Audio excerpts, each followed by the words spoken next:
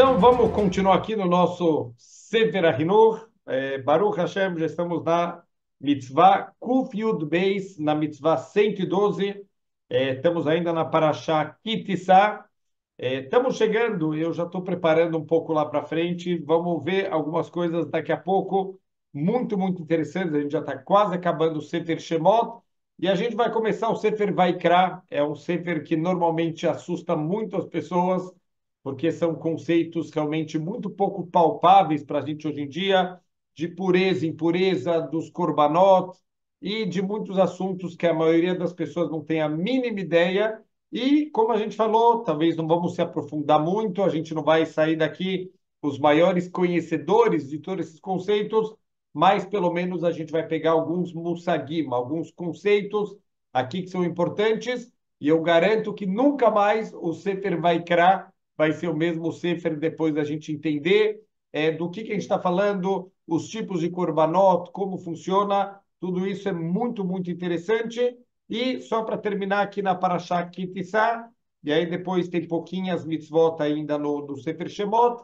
Estamos então acabando aqui o Sefer Shemot. Hoje a gente vai ver uma mitzvah que essa sim é muito parte do nosso dia a dia, é muito parte da nossa vida, e a gente vai ver alguns detalhes muito interessantes sobre essa mitzvah. Então, a mitzvah 112 é a mitzvah de Shvitat Haaretz Beshnat Shemitah, é o descanso da terra no ano da Shemitah. Então, vamos lembrar um conceito que a gente já viu, inclusive ele só vai recordar, porque, porque a gente já, já falou na, numa mitzvah anterior, na mitzvah 84, a gente já falou bastante, então tudo isso tem gravado, tudo isso está lá no, no canal, para quem quiser assistir as mitzvot que já foram faladas anteriormente, mas é, como aparece novamente essa mitzvah, ele vai mencionar ela com algum detalhe que seja importante. Então ele fala, levatela vodata aretz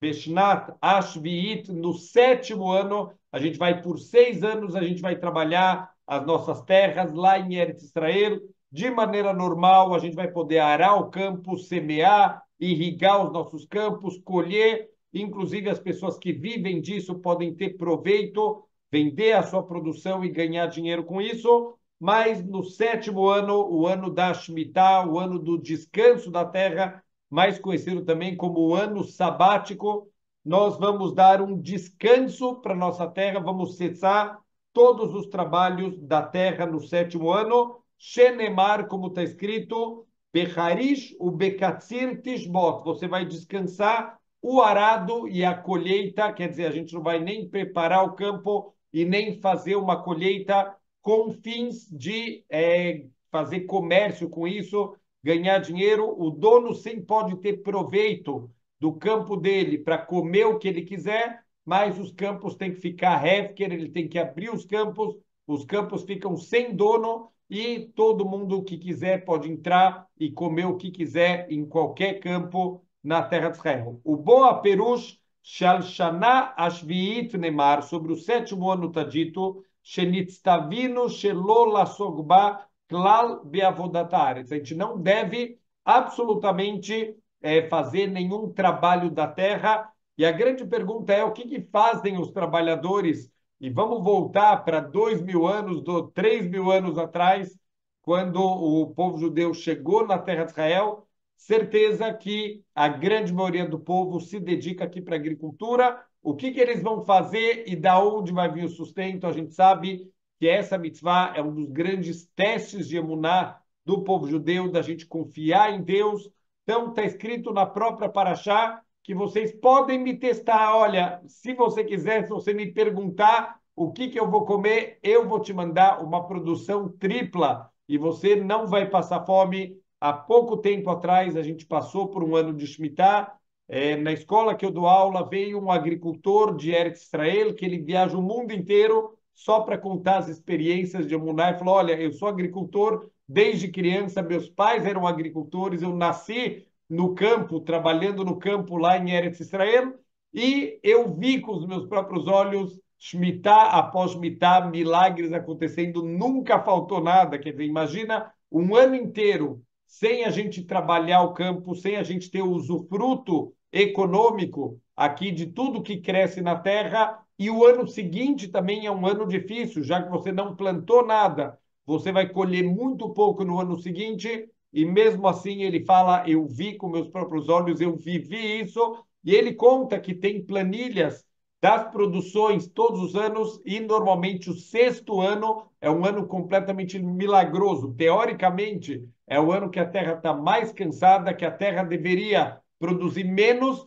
e a Torá falou: a produção vai ser tripla, vai ser suficiente para o sexto, para o sétimo e para o oitavo ano. E ele fala: eu vi com meus próprios olhos nas planilhas de vários campos, quer dizer, tem, uma, tem associações hoje em dia de para ajudar as pessoas no ano da Shemitah, e tem, eles têm controle da produção de muitos campos lá em Eretz Israel, e é impressionante. Ele fala: eu vi com meus próprios olhos as produções duplicam, as produções mais do que duplicam, na grande maioria dos campos, um milagre a olhos abertos, a gente pode ver o milagre acontecendo hoje em dia na terra de Israel. Então, a gente tem que ter muito emuná para poder realmente seguir essa ordem de Deus, da gente cruzar os braços e não trabalhar o campo. É uma mitzvah que trabalha muito a nossa emuná, a nossa confiança no Criador do mundo, que é Ele que manda o sustento e não o nosso esforço, não o nosso trabalho.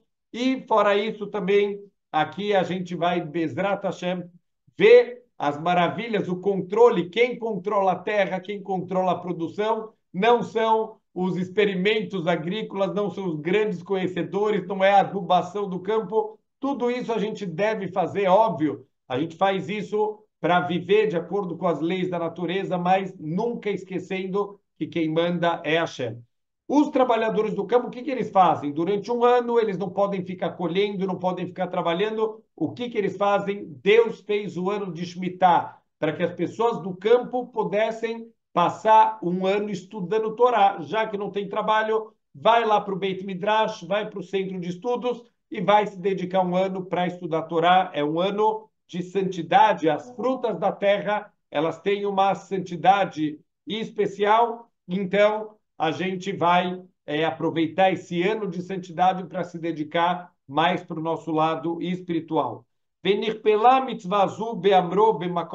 Então, essa já é a segunda vez que essa mitzvah está aparecendo na Torá. Já apareceu, é, vai aparecer, perdão, de novo no no Passuk lá em Vaikrash, Nat Shabbaton Yela Aretz, um ano de descanso vai ser para a terra, e também um outro Passuk, Vechen Veshavta Aretz Shabbat Lashem, vai descansar a terra, um Shabbat para Hashem. O Kvar Katafti, e a gente já escreveu anteriormente, como a gente falou na mitzvah 84, Kol Inyaná Mushlam Lemala Bemitzvat Ashviit Tishmetena Benetashta. Então, a gente, do, a mitzvah de dar um descanso para a terra, já apareceu na mitzvah 84, e todos os detalhes a gente já mencionou lá. Lakol shekan. Então, sobre é, fazer efker de todas as terras, as terras não têm dono, quem quiser entrar pode entrar aqui na, na terra. Então, tudo isso, o lugar principal da mitzvah é aqui, mas é, já foi explicado lá anteriormente na, na, na mitzvah 84. Vamos agora para a mitzvah 113, Kuf Yud Gimel, e aqui sim é uma mitzvah do nosso dia a dia, e a gente vai ver que essa mitzvah é extremamente interessante, vamos ver detalhes que provavelmente a maioria das pessoas nunca escutou e nunca tinha pensado é, por, esse, por esse lado, é a mitzvah de lo lehol basar bechalav, da gente não misturar a carne com o leite. Isso, obviamente, a gente conhece, mas vamos ver alguns detalhes aqui dessa mitzvah. Basar bechalav, shenit bashlu beyachad. Então, a gente não pode comer carne com leite aqui ele já começa com uma grande novidade que isso às vezes as pessoas não conhecem. A proibição da Torá de carne com leite é quando a carne e o leite foram cozinhados juntos. Se não foi cozinhado junto a carne e o leite, aqui não tem a proibição da Torá. a gente vai ver que existe a proibição rabínica de qualquer jeito, mas a proibição da Torá é quando a carne e o leite eles foram cozinhados juntos. Shememar, como está escrito, o famoso versículo, Lotevashel gdi bechalevimó. Não cozinhe o cabrito no leite da sua mãe. Lesora behalav. Então, esse versículo está vindo, na verdade, proibir duas coisas. A gente não pode, três coisas, são, na verdade, três proibições. A gente tem a proibição de cozinhar carne com leite, a gente tem a proibição de comer carne com leite e a gente tem a proibição de ter proveito de carne com leite que foram cozinhados juntos. Então, de novo, qual que é o, o ponto aqui? A gente não pode cozinhar carne com leite, mesmo que não seja nosso a carne com leite, um amigo pede para, ó, oh, você pode ligar o fogo para mim? A pessoa vai lá e liga o fogo e depois ele descobre que era um estrogonofe de carne com leite. A pessoa que ligou o fogo, mesmo que ele não vai comer, ele não vai ter proveito, ele simplesmente cozinhou a carne com leite, não era nem dele a carne com leite, mas ele cozinhou carne com leite, ele já fez a transgressão. Fora isso, é proibido, depois que foi cozinhado a carne com leite, até mesmo ter algum tipo de proveito, qual o proveito que a pessoa pode ter, de dar de presente para alguém. Você não pode comer, mas eu vou dar de presente para alguém. Também é proibido que isso é chamado que você está tendo proveito da carne com leite, que foram cozinhados juntos, e, obviamente, que também a gente não pode comer a carne e o leite que foram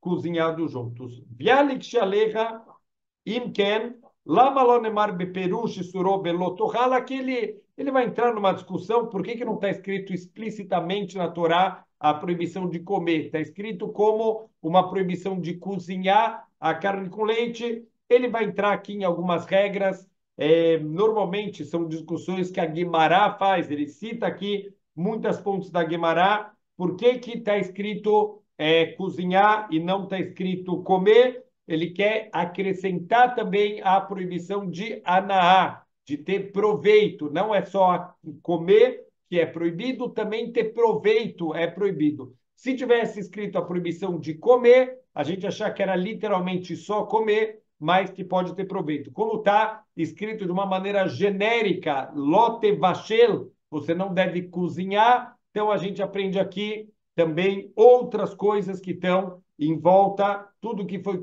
cozido já não pode ter proveito e também não pode comer. Então, é, tem várias, várias discussões aqui, por que que chegou aqui nessa, nessa linguagem, mas na prática a gente vai ter essas três proibições, Isura Hilá, Isur Bishul e Isuraná. Proibição de comer, proibição de cozinhar e a proibição de ter proveito. Cada uma é uma proibição por si só aqui da, da Torá. Ve'enra no limnot בחשבון alavim eila השניים, לפי שאיסור אכילת והנאה, דבר אחד הוא, mas na proibição da Torá, comer e ter proveito é uma coisa só, como Shamru Zichronol Ibraha. Kol makom chamar lotochal, lotochlu echad isura hilá, vechad naá, bemashma. Então, toda vez que está escrito na Torá a proibição de comer, a gente também tem automaticamente a proibição de ter proveito disso,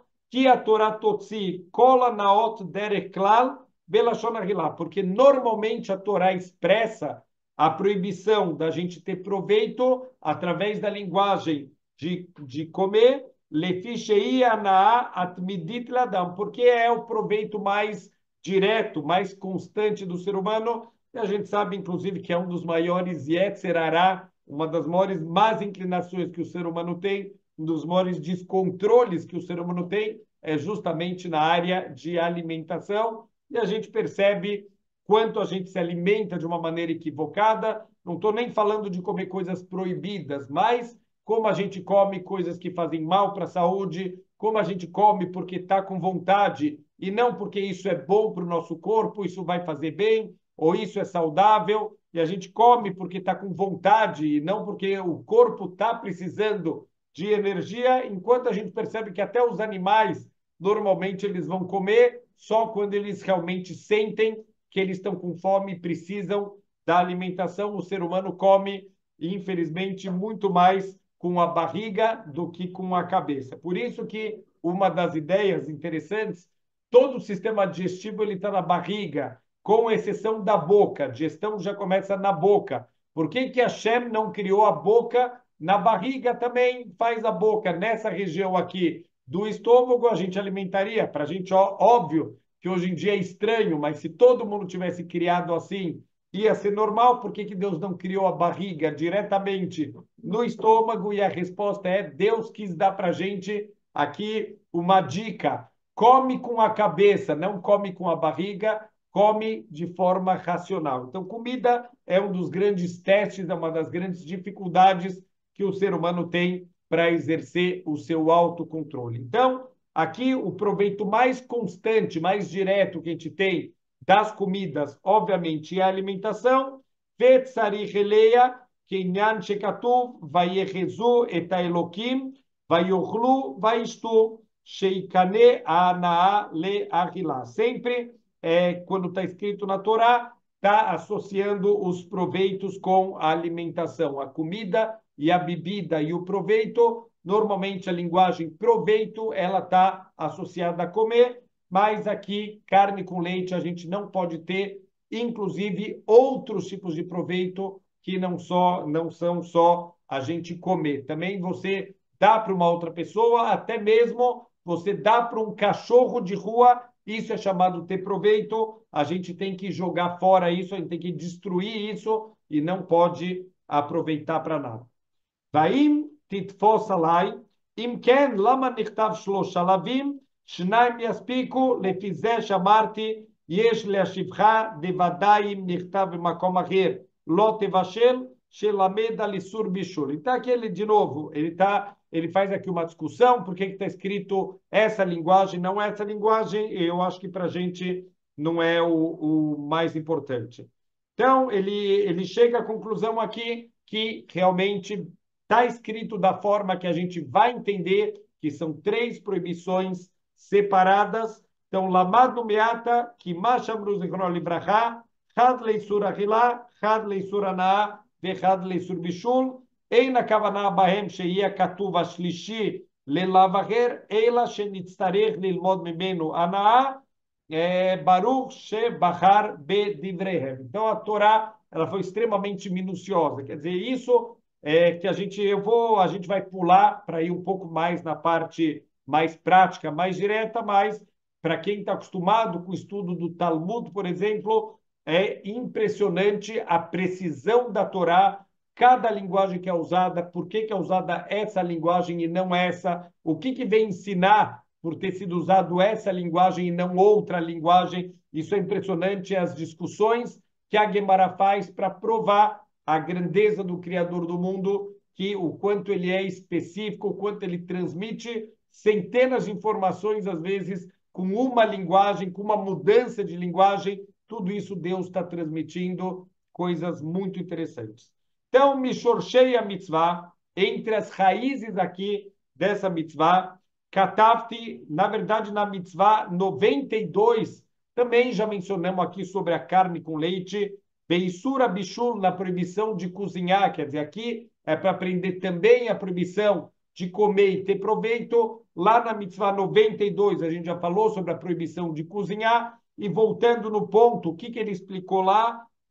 na, na Parashá Mishpatim, a gente já falou sobre isso. Alzada Pshat Mashe Yaholno, a gente explicou da maneira mais simples que era possível, mesmo assim a gente entrou aqui num assunto extremamente profundo espiritualmente falando, e para mim foi uma grande novidade, acredito que para a maioria das pessoas que escutou essa aula. Então vamos voltar rapidamente só o que, que foi falado lá na Mitzvah 92, a gente falou que a mistura de carne com leite Muita gente pensa que ah, isso é proibido porque faz mal, quem come isso para alimentação, e é verdade. Eu tenho alguns alunos que fazem curso de nutrição e já me falaram que hoje em dia uma das aulas ou uma série de aulas do curso de nutrição é não misturar carne com leite, faz mal para o corpo, um anula, um diminui a absorção do outro, quer dizer, se você comer a carne e o leite, nenhum dos dois vão ser absorvidos no corpo da maneira correta.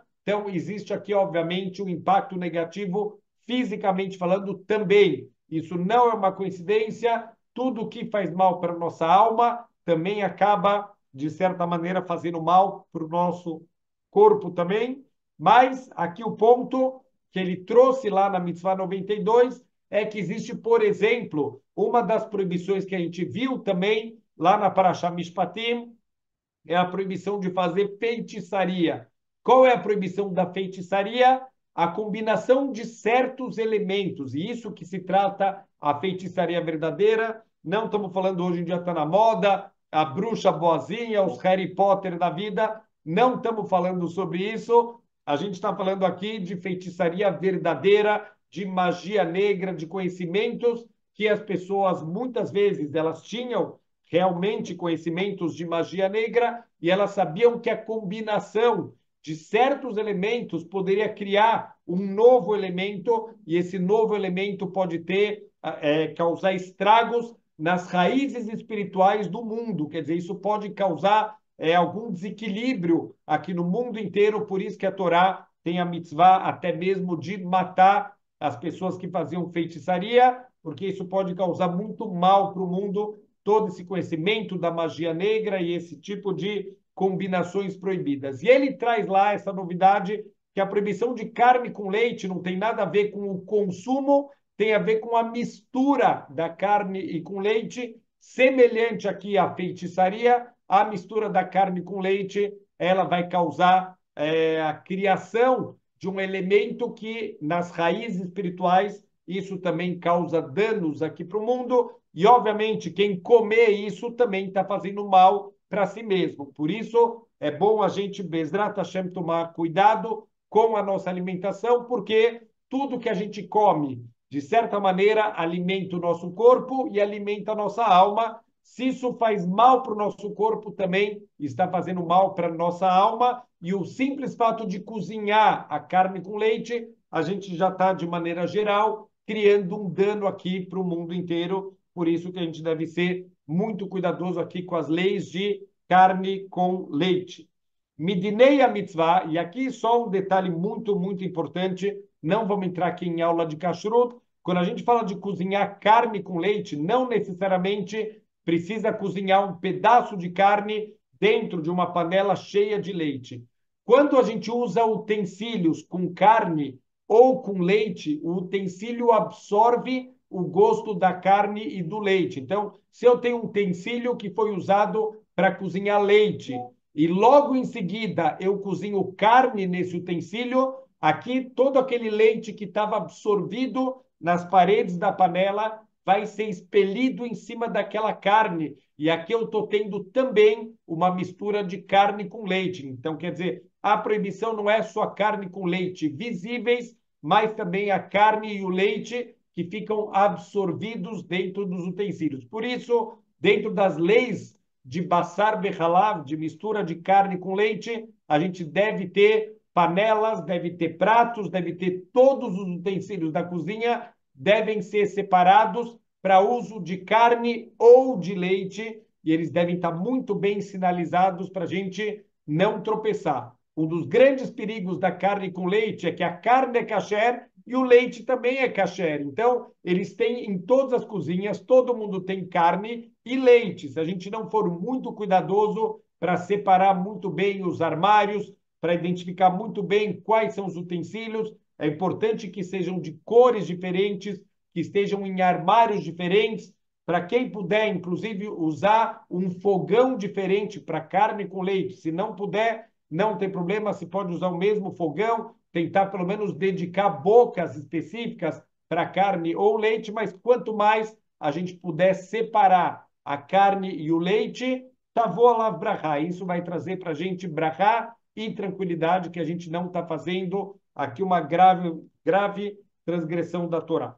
Vamos aqui falar alguns detalhes, Midinei a mitzvah, algumas leis associadas aqui com essa mitzvah. Mashamruz de Livrahá, o que os nossos sábios falaram no tratado de Hulin. Hulin é um dos tratados do Talmud que mais fala sobre os aspectos aqui de kashrut, e ele fala o seguinte: She'ein sur basar bechalav minatorá, ela bebassar behemá teorá. Só um animal doméstico tem a proibição, o, a carne de um animal doméstico e o leite de um animal doméstico é a única coisa que tem proibição da Torá da gente misturar. Aval lo bebehemat mea Agora, animais não kasher, ou até mesmo animais selvagens, a filoteorá, mesmo animais que são kasher, que são animais puros, por exemplo, o cervo, o cervo é um animal kasher, mas ele não é uma berremá, ele não é um animal doméstico, ele é uma raiá, ele é um animal selvagem. Então,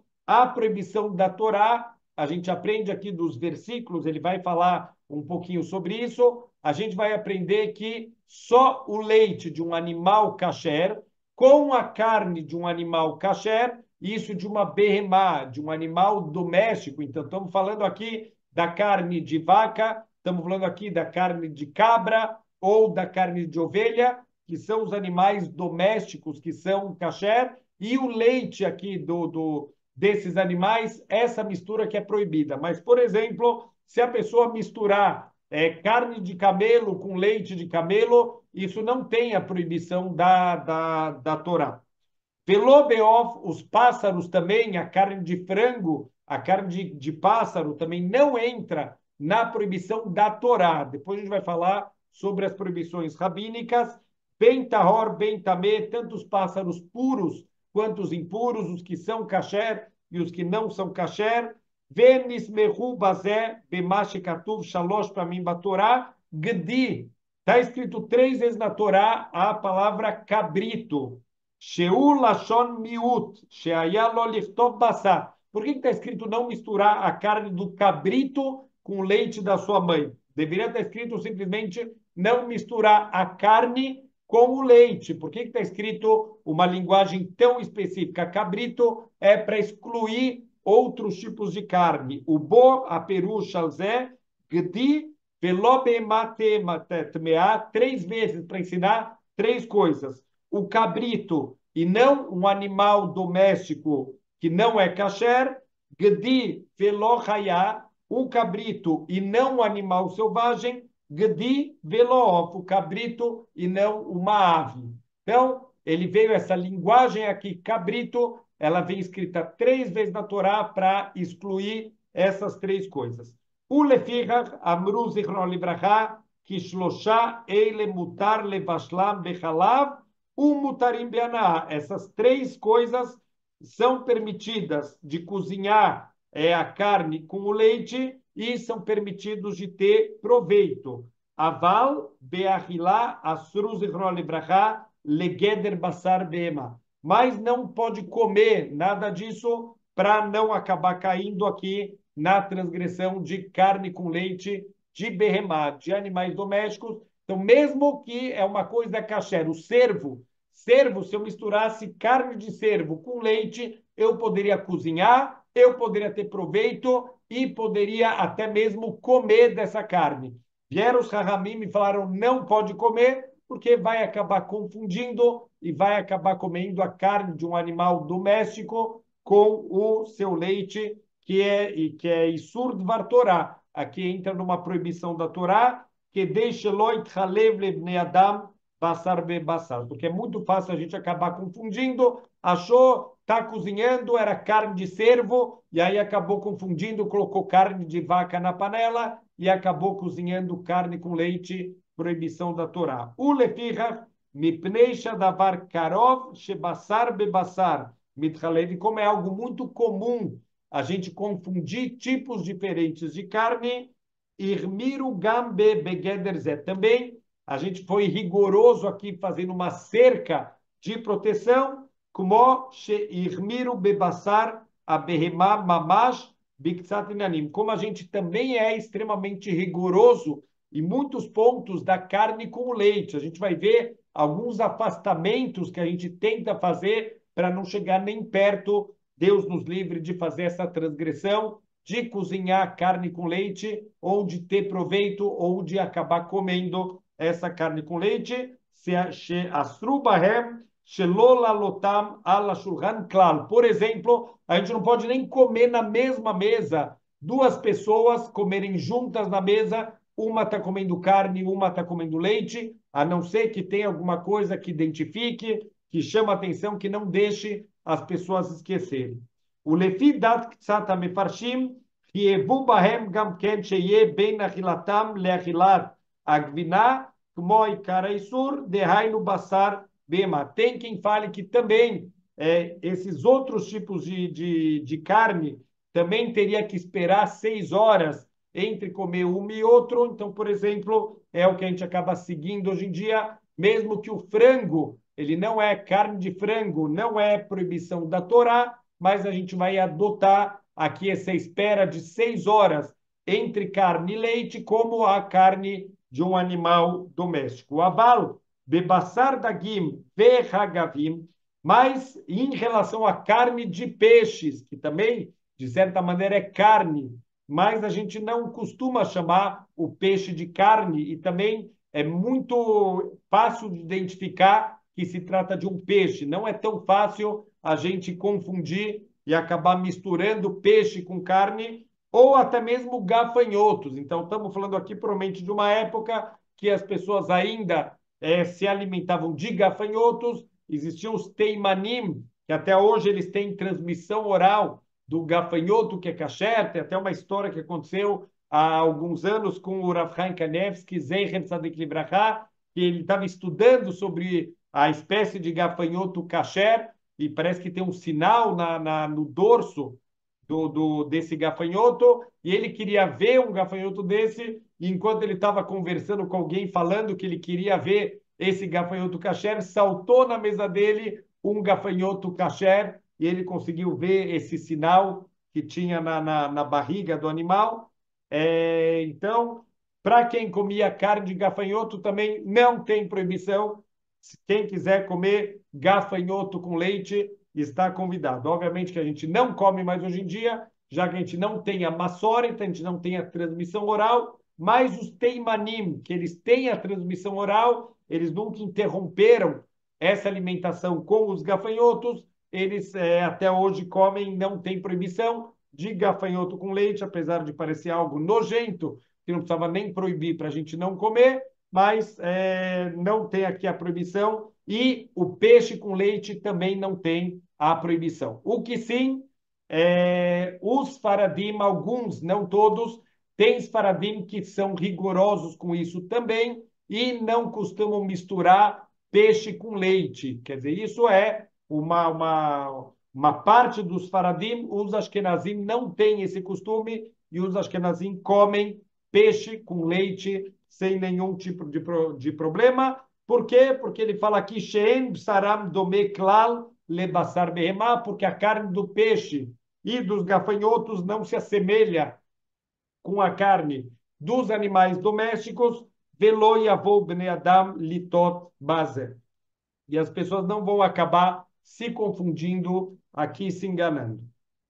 Biodermiro Benyanzé, mais uma coisa que as pessoas aqui foram rigorosas em relação à carne com leite, Gam Sheyesh Sur Mehudash Bazé, Yoter Mishar e Surei Mahalot, tem aqui uma novidade, uma, uma proibição que não se encontra normalmente nas outras proibições de comida da Torá, Lefik Tzad Minapirushim, de acordo com alguns comentaristas, Shebenyan Basar Bechalav, Im Nitarev Halav Im Abasar, Ve'en Bechatichat Abasar, Shenitarev Bo Shishim Keneged Halav, Anuroim Shnehem Kechatichat Isur. Então a gente fala assim: se misturou a carne com o leite, e se não tiver em um dos dois 60 vezes o volume do outro, quer dizer, eu tenho um pedaço de carne e pingou um pouco de leite.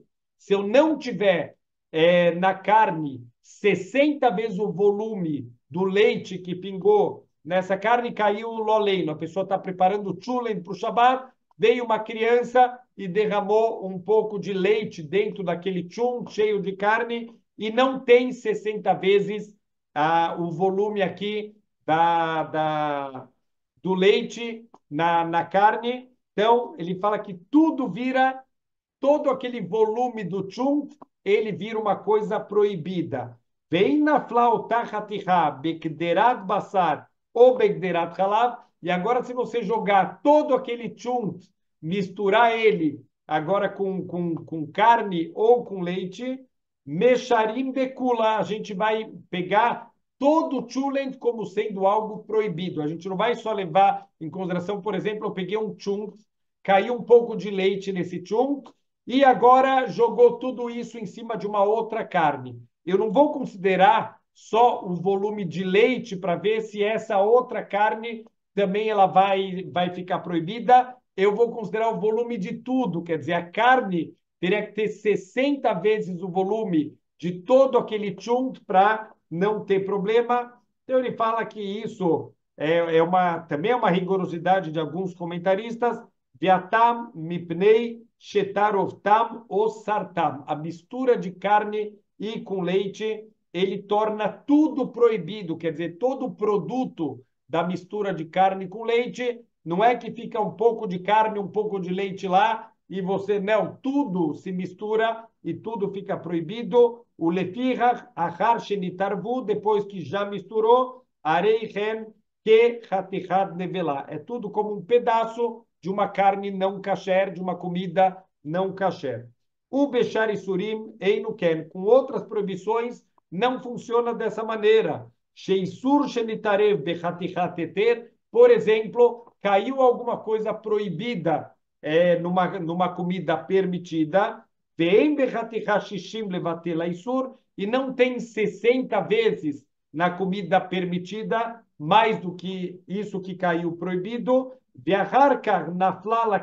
depois disso toda mistura caiu numa outra panela, em mesharim, ela bechura e surcha da flabó. A gente só leva em consideração aquela coisa proibida. Você não considera que toda mistura ficou proibido. Quer dizer, isso é uma rigorosidade que só acontece em carne com leite. Misturou carne com leite, tudo vira proibido. Misturou outras proibições, você leva em consideração só a quantidade de comida proibida que está lá naquela mistura.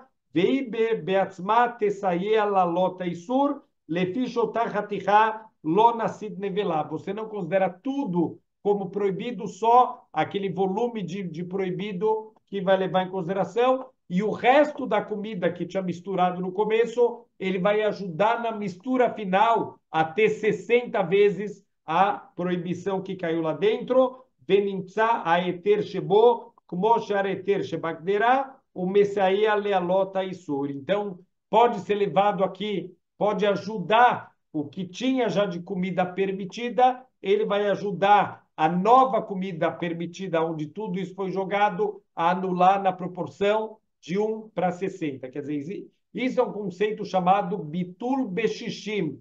Você anula proibições de comida em geral de 1 para 60. Assim funciona de carne com leite. Se caiu leite na carne ou carne com leite numa proporção menor do que 1 para 60, então está tudo batelo, está tudo anulado isso, essa proibição que caiu está anulada e tudo fica permitido para o consumo. Então, aqui isso vale para outras questões alimentares também, que é o conceito de bitul beshishim, anulação de 1 para 60. Se tem uma fórmula é, que tem algum componente lá dentro que não é caché, mas que ele se anula em 1 para 60, óbvio que não é a solução ideal, mas isso é permitido de acordo com a Lahá, mas perguntas na prática valem sempre a pena se aconselhar com o rabino para saber se isso vale em cada caso. Existem detalhes que podem mudar completamente a lei, então vale sempre a pena perguntar na prática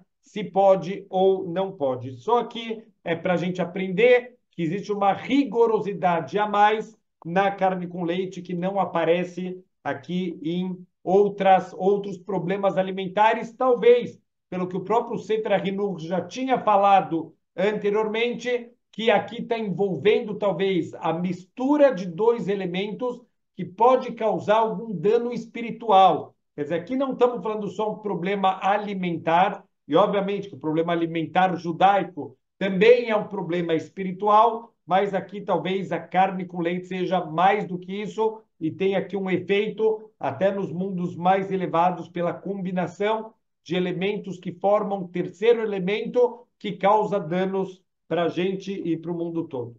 Ve'amnam achatichatzma imri nikeret asura leolam kedat ktsat mina mefarshim. Agora, se, por exemplo, o pedaço, ele é, temos aqui um panelão de leite e caiu uma almôndega lá dentro da panela de leite, tem 60 vezes mais leite do que o volume daquela almôndega. Então, está tudo permitido, mas, obviamente, aquela almôndega deve ser retirada e deve ser jogada fora, mesmo que o leite todo está permitido, porque a carne, ela se anulou na proporção de 1 para 60, mas se o pedaço está visível, esse pedaço deve ser descartado. Então, estamos falando, por exemplo, o contrário. Se cai leite dentro do chulent e misturou completamente, então a gente esquece, não tem nenhum pedaço reconhecível, é suficiente que tenha a proporção 1 para 60. Quando é o contrário, quando é uma carne que cai no leite, então aqui, mesmo que tenha a proporção 1 para 60, para permitir todo o líquido, todo o leite, mais aquele pedaço de carne, obviamente, ele deve ser retirado e deve ser descartado. Vê a Mruz e Cronon Librachá, também fala os nossos sábios aqui no Tratado de Tmurá, She'eproshel basar behalav, asur que afar kol sureiana. Mesmo as cinzas de carne com leite, eles são proibidos como qualquer outro de sim, qualquer outro tipo de cinzas que a gente não deve ter, que é proibido ter proveito deles, Sheteonim kvurá, devem ser enterrados. Enterrados hoje em dia pode ser até mesmo a gente jogar, por exemplo, na privada, a gente tem que dar um fim em qualquer mistura de carne com leite para que ninguém tenha proveito disso, ninguém coma isso, nem um animal de rua, não pode dar para um cachorro de rua, porque isso também é considerado que você está tendo proveito. Uma vez eu perguntei qual o proveito que você tem de dar essa carne com leite para um cachorro de rua. Então, falou, se você não desse essa carne com leite, você estaria dando outra comida. Então, isso que você está economizando, a comida que você daria para o animal no lugar da carne com leite, isso é chamado proveito e a gente não pode ter é, proveito. Para mostrar como isso é rigoroso, isso de, de, de ter proveito, tem uma, um sipur, uma história na, na, no Talmud. O Talmud conta para a gente de uma senhora que ela era viúva e ela tinha dois filhos e ela era muito pobre e certa vez um homem rico pediu para ela guardar uma moeda de ouro que valia muito dinheiro e ela estava com medo de perder essa moeda, ela guardou dentro do pote de farinha. E ela deu, uma vez veio um pobre pedir, pedir um pão, ela ficou com dó do pobre, mesmo que ela também não tinha muito dinheiro, e ela foi lá e assou um pão para aquele pobre com aquela farinha, e ela não percebeu, e a moeda de ouro foi junto na massa e foi junto na ralá que foi dada para o pobre. Quando o homem rico veio pegar de volta a sua moeda, a mulher percebeu o erro que ela fez e ela foi no tribunal para é, alegar a inocência dela. Ela contou a história que aconteceu. E uma das coisas uma pessoa que está guardando um objeto, ele deve jurar que ele não teve nenhum proveito desse objeto. A gente não sabe o que aconteceu, a gente está confiando na palavra da pessoa. Às vezes a pessoa ela teve um Yetzirará, ela acabou roubando aqui o objeto guardado, então a pessoa tem que jurar que ela não teve proveito desse objeto, que ela não usou, que ela não roubou esse objeto que ela está falando, que aconteceu aqui alguma força maior.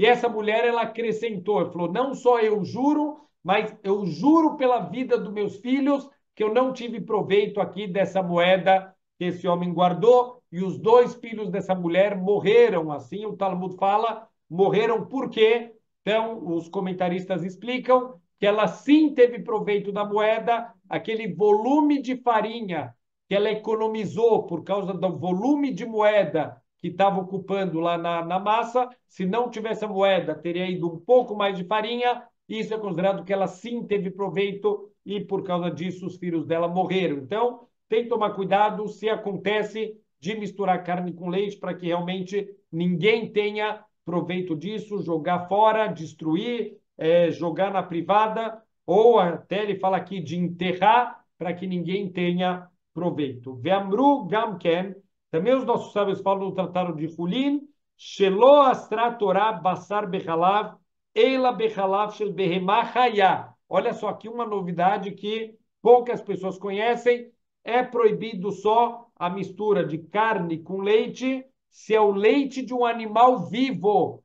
Significa que o animal estava vivo, foi ordenhado, foi tirado o leite dele enquanto ele estava vivo, esse leite não pode ser cozinhado com carne. Aval, bechalav, ameta, lonesru, mais o leite que está dentro da vaca e que foi extraído depois que a vaca morreu, esse leite não tem proibição da Torá da gente misturar carne com leite. Lefirach, a kehal mutar mina Torá bechalbo. Olha que interessante, nunca tinha parado para pensar. A parte das mamas do animal, ele é carne, quer dizer, isso pode comer. A pessoa poderia comer essa parte do animal e acaba ficando leite dentro das mamas do animal. Então, foi feito o abate da vaca e quando vai cortar as partes do animal, quando pega a parte das mamas do animal, tem leite lá dentro, é permitido pela Torá. A gente vai ver que derabanan é proibido, mas pela Torá seria permitido comer essa carne com o leite que está dentro dela. Os nossos sábios, eles proibiram isso, legader, como uma cerca para mostrar a rigorosidade aqui dessa proibição de comer carne com leite tem que esvaziar todo o leite aqui das mamas do animal e limpar bem, e aí sim você poderia comer essa parte do animal. Como, como quem quiser se aprofundar, lá no Tratado de Hulin, ele fala justamente sobre esse ponto que tem que ser o, o leite de um animal vivo e não o leite de um animal morto. Verhalava nimtza bekeva, bekevata behemá, Yeshboshnei eterim. O leite que se encontra no estômago do animal. Se tiver leite no estômago do animal, será que a gente vai poder misturar esse leite com a carne? Ele fala que tem duas permissões aqui. Quais são as duas permissões? Primeiro, que é o leite de um animal morto. Então, isso pela Torá já é permitido. E aqui tem mais um nível de permissão. Eila Bealma, e aqui já é chamado de resíduo. Isso não é mais chamado de leite, isso já é chamado de resíduo. Shekvar nitakal sham, porque ele já passou por um processo de digestão, mesmo que ele ainda tenha o aspecto de leite, ele já é um leite que passou pela digestão. O lepirach mutar lechatrila. Pode, lechatrila, poderia misturar essa carne com esse leite com a carne do animal. Vem Tzariglomar, She Animtza Sham, Karush Mutar. Também não precisa nem falar que o que está coagulado já dentro do animal, que óbvio que é permitido, Sheu Vadai que peresca, que é certeza que é uma coisa já residual, ele não é chamado mais de leite, ele já é chamado de resíduo, Eila, Afilo, Atsalul e Tiro Ageonim. E mesmo que ele ainda está líquido, quer dizer, aqui teve uma novidade a mais ainda, mesmo que ele esteja no estado líquido, é permitido a gente misturar e comer a carne com leite. Amevashel shalil bechalav hayav. Agora aqui não, aqui uma, uma proibição é cozinhar o feto do animal, quer dizer, se a pessoa é, fez ritar do animal e quando abriu o animal viu que tinha um feto lá dentro, isso é proibido comer com leite, porque isso já é considerado carne. Derrena ochlo, aval amevashel shlia, o or vegidim veatzamot veikarei karnaim vetlafaim patur. Olha que impressionante. Algumas partes do animal, mesmo que é parte da, da do, do, do animal, que da onde você tira a carne, mas essas partes do animal não tem proibição da gente cozinhar com leite. Então, por exemplo, se a pessoa cozinha a placenta do animal com leite, o or, ou o couro do animal, ou guidim, os tendões do animal, veatzamot, os ossos do animal, obviamente, estamos falando sem nenhum resíduo de carne nesse osso, veikarei carnaim vetlafain, e as raízes do chifre e dos cascos do animal, patur. Aqui ele está isento, não tem nenhuma proibição se ele cozinhar isso com leite. Veieter prateia mitzvah, mevoarim beperek shmini, mehulim. E outros detalhes a gente pode ver lá no Tratado de Hulim.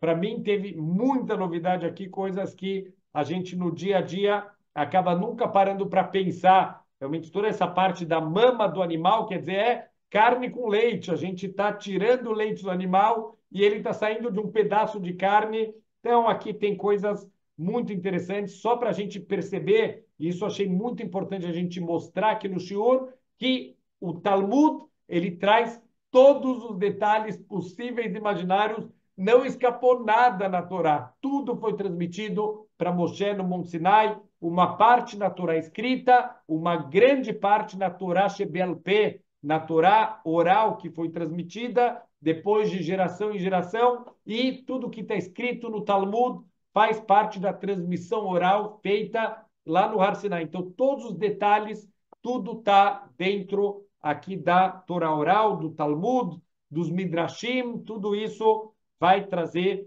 detalhes que a gente nem sonhava, que a gente nunca tinha parado para pensar, e vem a Torá e já esclareceu tudo isso. Benoeged bekol makom ou bekol zman, isso se aplica à proibição de carne com leite em qualquer lugar, em qualquer época. Besharim venekevot, tanto para os homens quanto para as mulheres. Veover alea veachal kazait minabassar, veachalav shenibashlu yachat bemezid loke. A pessoa que comeu, aqui a gente já falou isso também em mitzvot anteriores, normalmente proibições de comida para entrar nos castigos da Torá, aqui de chicotada, ele tem que ter, no mínimo, comer um casai. A medida de um casai, que a gente já explicou, é o volume de uma caixinha de fósforo. Se comeu um casai de carne com leite, que foram cozidos juntos. Então, aqui um detalhe que a gente já mencionou lá na mitzvah anterior, mas que vale a pena. É, se eu pego um pedaço de carne, eu cozinho e eu deixo ele esfriar e eu coloco um pedaço de queijo frio em cima e como aqui não tem proibição da Torá, existe a proibição rabínica de comer carne com leite frios, mas é, a proibição da Torá é só se eu cozinhei os dois juntos. Então, se comeu aqui um casait de uma carne e um leite que foram cozinhados juntos, lo que a pessoa recebe 40 chicotadas da Torá, aval nenebo kegon shenatno o magro. Agora, se a pessoa teve proveito da carne com leite, por exemplo, se ela deu para alguém, ou até mesmo se ela vendeu para uma pessoa, em noloque, ele não recebe chicotadas, porque é possível você ter proveito de alguma coisa sem ter aqui um ato envolvido, e a gente sabe a regra,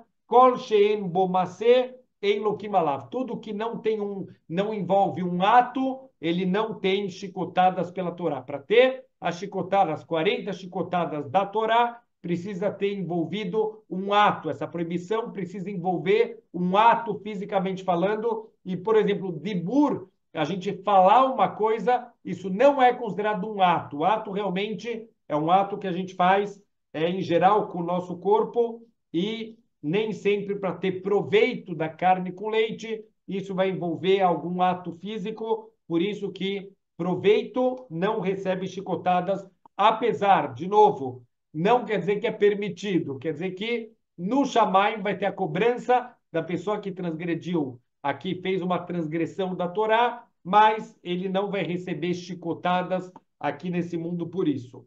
Veafilo mimeno, mesmo que a pessoa usa carne com leite para passar no corpo, ele descobre que faz bem para a saúde. Carne com leite passar aí na pele, tem tanta loucura hoje em dia que a gente não duvida de mais nada.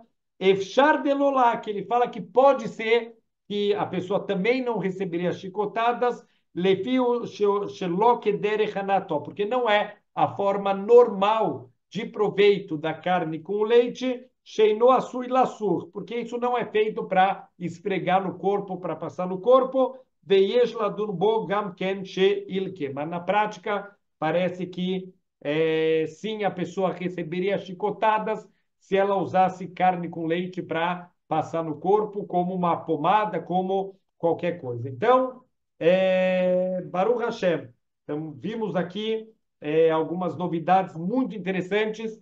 Terminamos a Paraxá Kitissa. A gente já vai começar na Paraxá Vayakel Pekudei. Tem pouquíssimas mitzvot. Então, na próxima aula, Bezrat Hashem, é, a gente vai ver a verdade. A Paraxá Vayakel tem mais uma única mitzvah. Paraxá Pekudei não tem nenhuma mitzvah. Então, a gente vai ver mais uma mitzvah e já vamos entrar no Sefer Vaikra e vamos começar a pegar um pouquinho dos conceitos dos korbanot, dos serviços que eram feitos no Beit HaMikdash. Óbvio que a gente não vai se alongar muito, vamos tentar pegar os conceitos principais e, Bezrat Hashem, a próxima vez que a gente olhar para o Sefer Vaikra, a gente já não vai mais ter tanto medo dele. Shavuot Tov!